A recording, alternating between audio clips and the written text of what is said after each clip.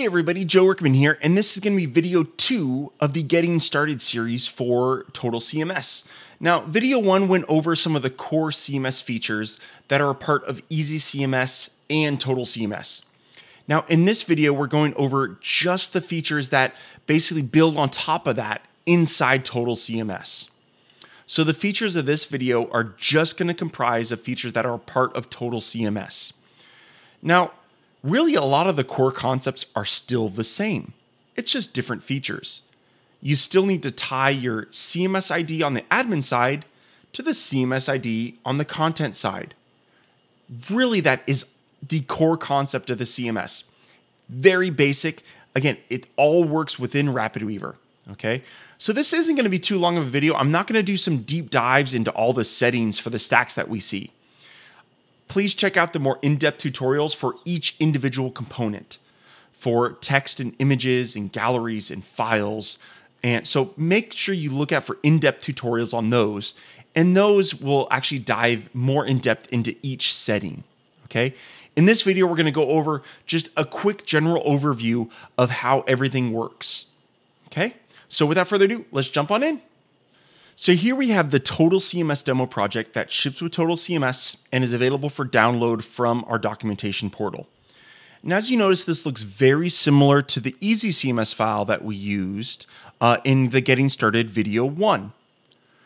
So, but there's a few additional things. Below the tab container, you'll notice that we have a gallery, okay? We have the ability to manage videos, we have a slideshow, we have the ability to actually control a single file download as well as entire file depots. Next, we have the ability to display news feeds as well. And the same thing happens on the admin side, right? We have admin containers to manage all of these things.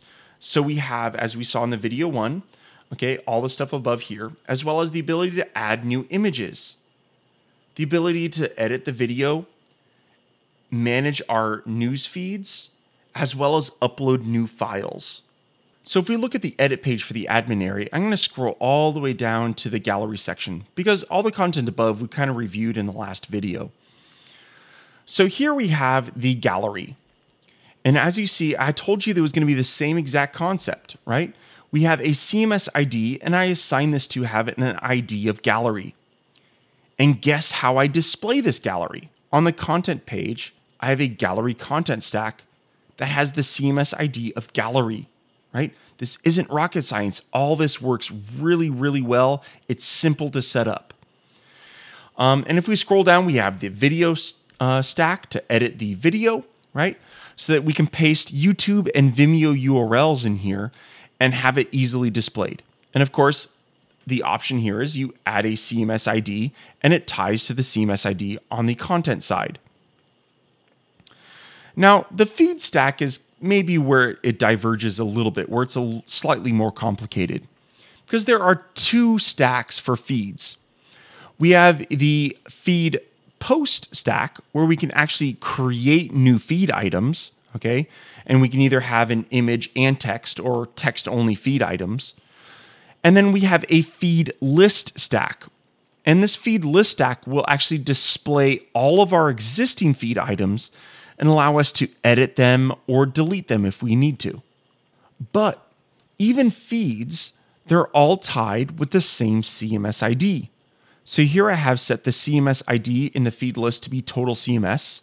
And in the feed post stack, I also have that set to have the CMS ID of total CMS. Now, if we go further down the page, we'll see that we have files and depots. And guess what? These are set up the same exact way as everything else we set up a CMS ID for our depot and a separate CMS ID for our file, and these are managed with this CMS ID.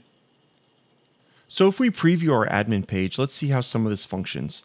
For the admin gallery, it behaves pretty much how you would expect it. Drag and drop a new image here, and it will be automatically added to your gallery. And just as with the static images, we can control the alt tags, as well as get warehoused image URLs to every single image. Further down, we have our videos, and here you can paste in any YouTube or Vimeo URL, and that Vimeo or YouTube video will be displayed in your content areas. And feeds, when you add a new post here, you type in your text and drag and drop a new image, and when it's done adding, it will be automatically added to your list over here on the right. And if you've ever messed up on a post, you could simply click on that post and you can edit both the image and the text all right within the admin interface. Now, managing files with the CMS is just as easy as managing images. Just drag and drop the file of any type. It could be a zip or an image or a PDF, and it will automatically upload that file to the depot. And if you're managing a individual file, you can upload and replace the same exact file to ensure that that file URL never changes. Now, if we were to look at the content side, we'll notice that the gallery and the slideshow stacks are tied to the CMS ID of a gallery. So in this instance, we'd set up the gallery ID to be gallery inside the admin page, and we set up the CMS ID to match that so that it will be displayed on our content area. Same thing with video and file and file depot. They all work just as magically as the other ones. Simply tie it to the same CMS ID and the content will be displayed uh, on your web page. So let's quickly review some all the stacks that are included inside Total CMS. Again, just as we saw in the first video, we have two sets of stacks available we have the colored background icons are the stacks that are for the admin interface. And the icons with the white backgrounds are the stacks for the content of your web pages. If you notice, all the icons are the same. They're just simply inversed. So the feed admin area is the feed icon. And we have the corresponding exact icon just inversed for our content pages. So it's really simple to display and figure out exactly which stacks you need. Now, some other stacks that were included that we didn't really review today. One is the Protect stack, and this is similar to our Page Safe stack. And this stack allows you to actually apply a login to lock down your admin pages for Total CMS. This is important because you don't want the average user just be able to have their admin page open to the world you want to password protect it. And lastly, we have a select box, which, allow, which allows us to actually define predefined text snippets that our users can select from uh, when they add it to the page. So that does it, everybody. That is the powerful Total CMS and all of its amazing features, right?